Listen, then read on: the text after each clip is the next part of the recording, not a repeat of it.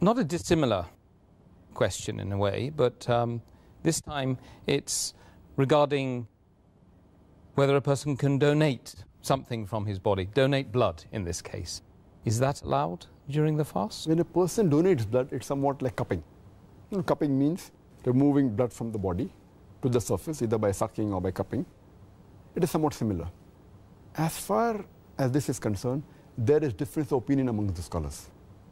Can you donate blood or is cupping allowed while fasting or can a person cup? There's a hadith which is mentioned in Sunan Abu Dawud, volume number 2, in the book of fasting, hadith number 2364, where a beloved Prophet Muhammad said, anyone who cups and gets cupped, they break their fast. Is a person who cups and a person who gets cupped breaks the fast. But there's also another hadith in Sahih Bukhari, volume number 3, in the book of fasting, hadith number 1938, where it's mentioned that Muhammad was cupped while fasting. But because of these two hadiths, there's a difference of opinion in the scholars.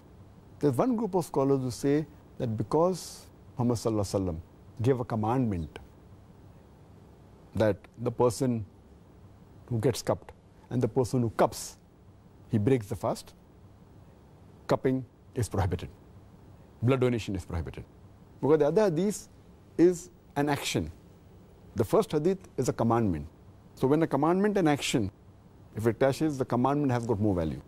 So based on this, there is a group of scholars who say that blood donation is haram. Amongst these scholars, we have Imam Ahmad ibn Hanbal, we have Sheikh bin Baz who says that cupping and blood donation is haram. We have the great scholar Sheikh Utaymi who says it's haram. Sheikh Saleh Fozan and Sheikh Jibreen. All of these scholars say cupping is haram.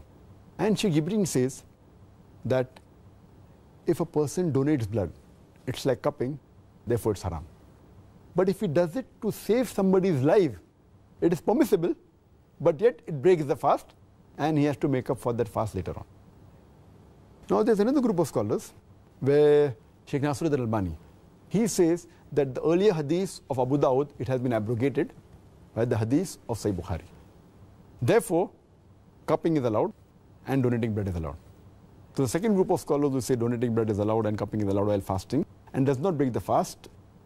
We have Sheikh Nasiruddin Albani. We have amongst the Sahaba Anas bin Malik, may Allah be pleased with him. We have Hazrat Aisha, may Allah be pleased with her we have Imam Malik, we have Imam Shafi. So there's another group of scholars who say that blood donating does not break the fast. So based on this, there are some scholars who say it's makruh. Some scholars say that if there's such a large difference of opinion, so if it has to be done, avoid it and do it after sunset. So we have a difference of opinion as far as blood donation is concerned. But as far as the other things are concerned, for example, if there is a small bleeding due to any injury, that does not break the fast. There is no difference of opinion in this. Or if you take blood only for testing, a few ml of blood is removed from the body. For testing, this does not break the fast. Or an injury and a cut, the blood comes out, doesn't break the fast. Or if it's a nosebleed, or bleeding of nose, that doesn't break the fast.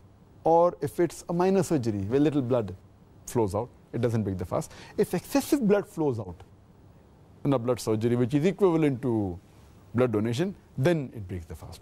So as far as the second part is concerned about blood taking out for testing, nosebleed or minor bleeding, there is no difference of opinion. All of them agree that this does not break the fast.